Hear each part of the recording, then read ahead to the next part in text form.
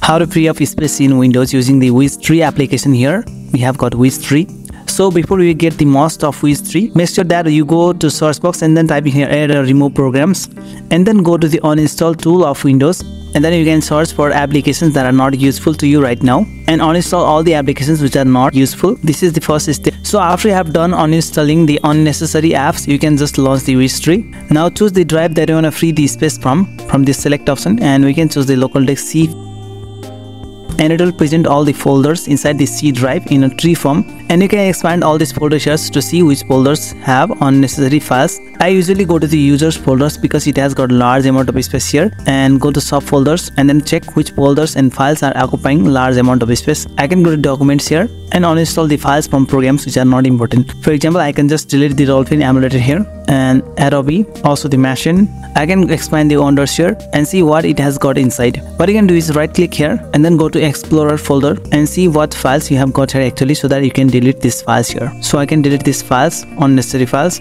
and then collapse all the files here then go to the next folder to see what it has in this way we can free up large amount of space i use this trick to free up almost 25 gb from c drive i have already freed up large amount of space here so the size of these files here are not so big here similarly you can do this for local disk d also select the local disk D and now check for the folders that have large amount of space occupied. For example, I can go to Filmora here and then delete the files that are unnecessary or I can just right click here and click on Explorer folder.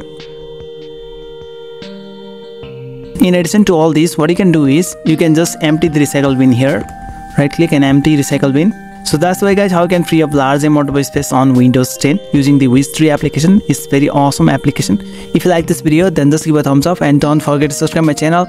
Okay bye.